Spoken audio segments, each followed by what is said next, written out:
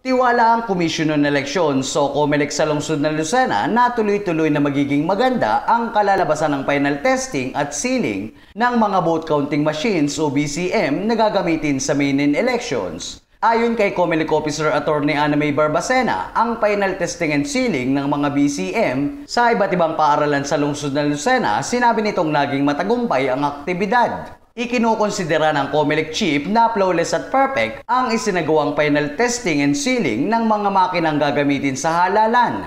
Nagpapasalamat ang Comelec Chair dahil naging matagumpay ang aktibidad at umaasa itong magkakaroon ito ng positibong impact sa pagboto dahil sa testing at sealing pa lang ay wala nang naging aberya. Kasabay nito, hinimok ni Barbacena ang lahat ng mga botanteng bumoto sa main elections. Hinimok niya rin ang publiko na makibahagi sa isasagawang final testing at sealing na magtatagal hanggang Mayo 7. Ako si Ferdinand Ramilo, titong bandilyo natin hatid naming taga rito sa atin.